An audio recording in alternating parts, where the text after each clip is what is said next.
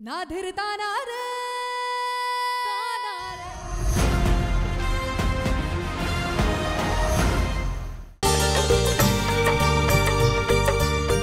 पहले तो गाड़ी और ढोल की आवाज़ सुनकर पूरा सनातन नगर इकट्ठा हो गया था। पर अब सगाई का शगुन देखकर। देखिए ना, कैसे मेला लगा है। वैसे अंगूठी है बड़ी सुंदर। इतना बड़ा डायमंड सचमुच। मैंने तो इससे पहले देखा ही नहीं है।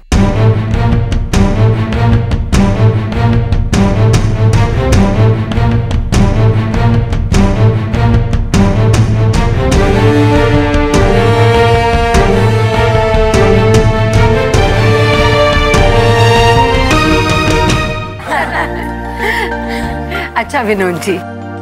सगाई की रस्म पूरी हुई अब हमें इजाज़त दीजिए। खाना तो खाकर जाइए ना। खाना शादी वाले दिन खाएँगे। क्योंकि बहुत जल्द हम बारात लेके जो आने वाले हैं।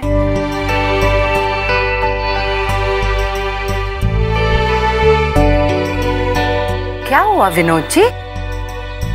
आप कुछ कहना चाह रहे हैं? जी, धन्यवाद देना चाहता हूँ आपको। अगर मैं चिराग लेकर भी ढूंढता ना, मुझे ऐसा दामाद और ऐसा रिश्ता अपनी बेटी के लिए नहीं ढूंढ पाता। विनोद जी, ये रिश्ता ना हमने जोड़ा है, ना आपने। ये तो लक्ष्मी का सपना था, जो शिवजी ने पूरा किया, बस।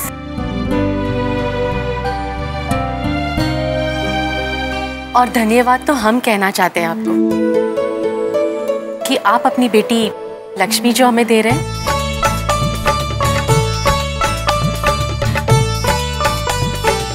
अच्छा जी चलते हैं। ठीक है। आइए मैं आपको बाहर तक छोड़ कर आता हूँ।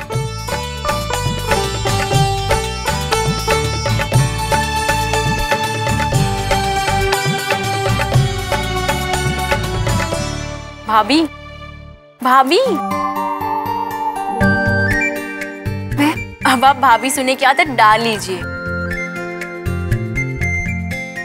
वैसे छुप छुप कर किसको देख रही थी आप? मैं घर जाते ही अर्जुन भैया की फ़ोटो भिजवा दूँगी। अपने कमरे में रख लेना। या फिर तकिए के नीचे छुपा के रख लेना। अरे, इसमें शर्माना क्या? अब तो सब ऑफिशियल है। अभी वैसे मैं क्या पूछा था? अरे पूछना क्या है? दादी बता रही थी कि आप खाना बहुत अच्छा बनाती है। हाँ भाभी। इस मोटू को ना खाने का बहुत शौक है। अब मैं तो थोड़े दिन में ससुराल चली जाऊँगी।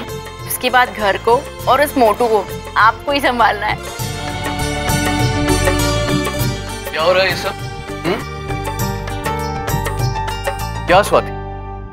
क्यों हमारी प्यारी सी भाभी को परेशान कर रहे हो। अरे भाई क्यों ना करे? अब तो हमारा हक बनता है। है ना भाभी? अच्छा अच्छा ठीक है ठीक है। हक बनता है।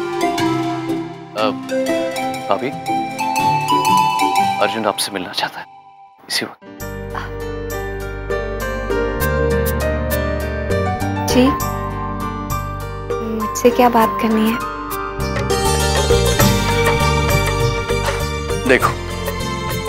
मेरा काम था संदेशा पहुँचा तो मैंने पहुँचा दिया। बाकी अब आप ही संभालो। हम्म? अच्छा चलो चलो। गादी वेट कर रही लेट्स गो ओके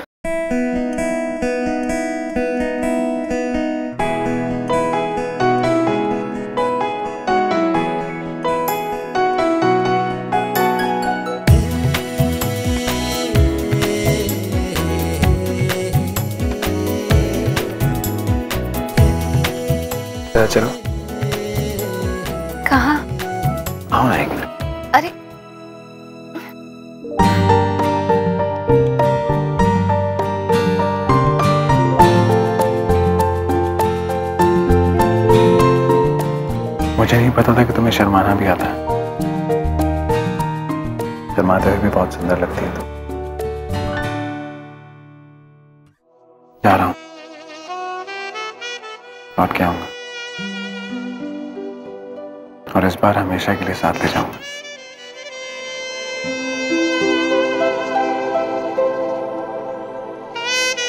हमने पता नहीं दस साल कैसे इंतज़ार किया मुझसे तो दस दिन भी नहीं रुका जा रहा।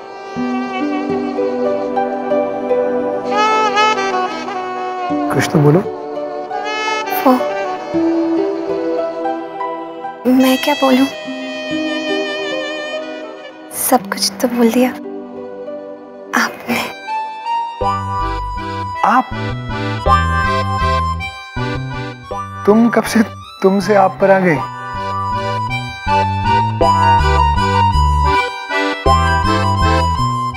पता नहीं कैसे मुँह से निकल गया। बहुत कुछ बदल रहा है ना? तुम कभी मत बताना। तुम जैसी हो मुझे बहुत पसंद हो।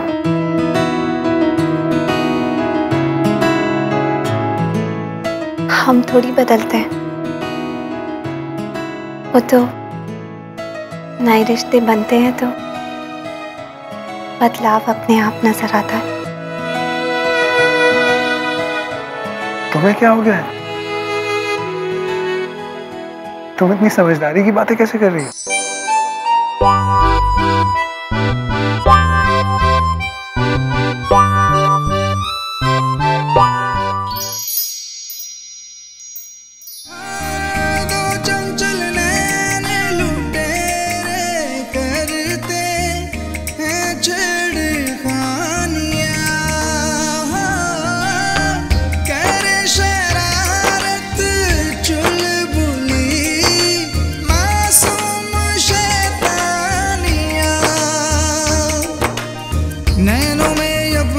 किस्मत का। नैनों में अपनी किस्मत का। मुझको दिखा सितारा। हारा हारा हारा मैं दो नैनों से हारा।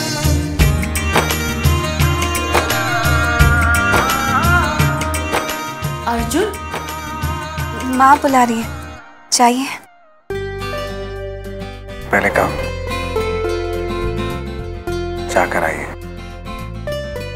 सब लोग हमें ढूंढते होंगे। चाहिए ना।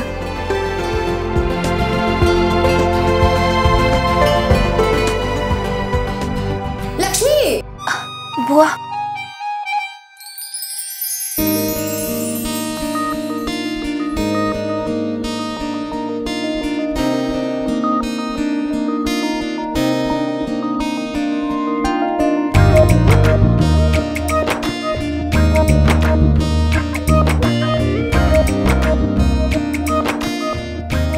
मेरा गिफ्ट अभी बाकी है। हाय राम। यहाँ आज तो बनता है।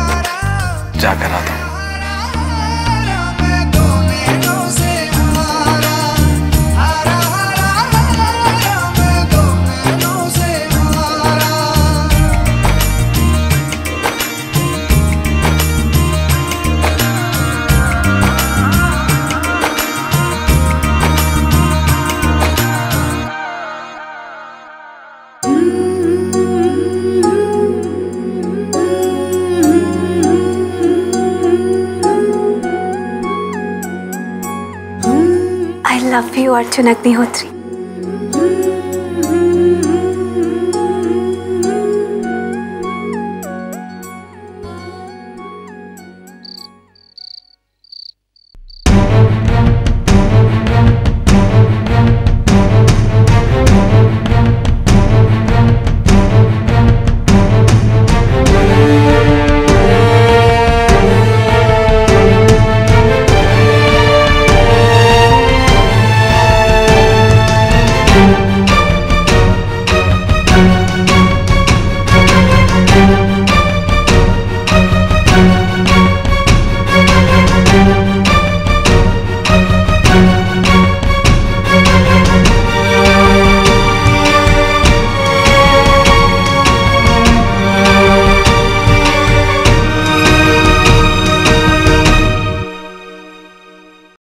sorry dad sorry किस लिए? आपके खिलाफ जाकर अपने दिल की सुनकर लक्ष्मी से रिश्ता जोड़ने के लिए।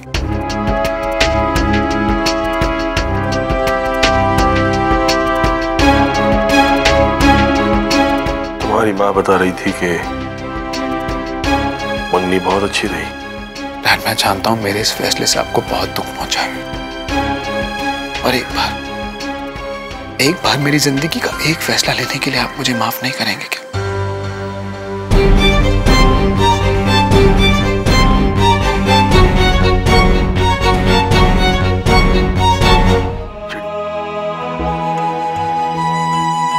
मुझे याद है डैड, बचपन में आपसे माफ़ी माँगता था तो आप झट से गले लगा लेते थे। ऐसे नहीं कर सकते। मैं अपनी ज़िंदगी की एक नई शुरुआत कर रहा हूँ। आपके आशीर्वाद के बिना मैं कदम नहीं उठा पाऊँगा।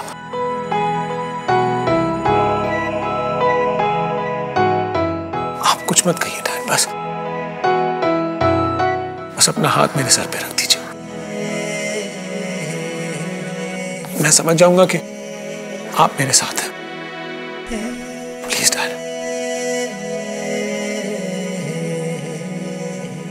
ध्यान से सुनो, अर्जुन।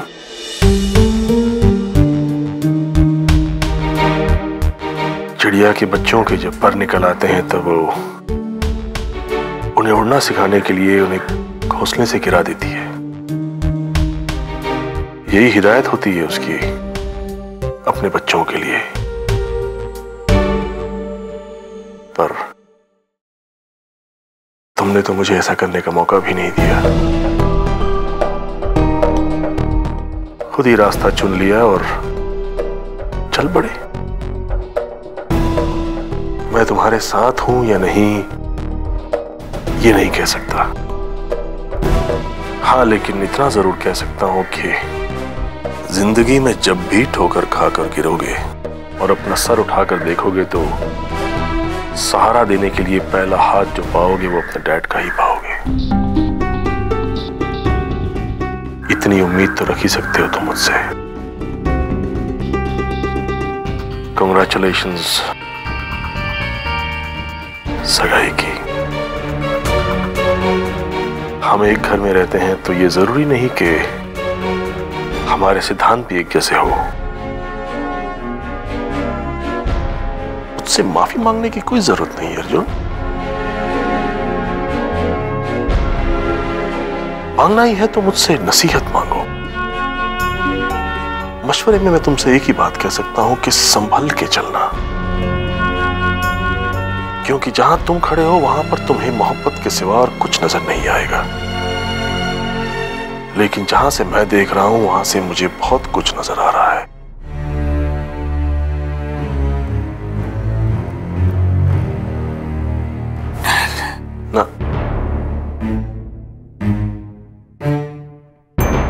मुझसे ये नहीं पूछना कि क्या देख रहा हूँ मैं। क्योंकि आज मैं अगर तुम्हें बता भी दूँ तो तुम्हें यह बात नज़र नहीं आएगी।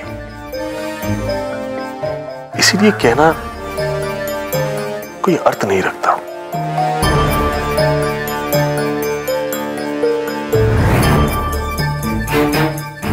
रात बहुत हो गई अर्जुन। जाओ, सो जाओ।